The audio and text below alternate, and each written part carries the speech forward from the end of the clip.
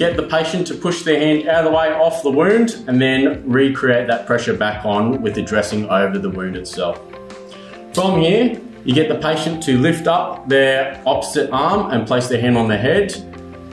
And then you're wrapping the bandage around under the armpit, ensuring to get it nice and tight within the armpit itself.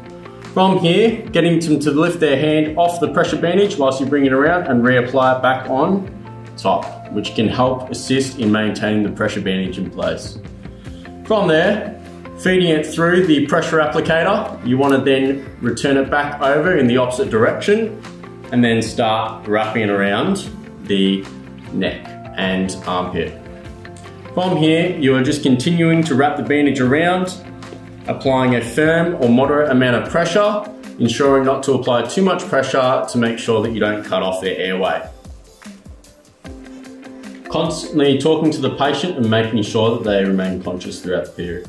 Once you reach the end of the bandage, you then want to apply the hook at the end of the bandage to secure the pressure bandage in place.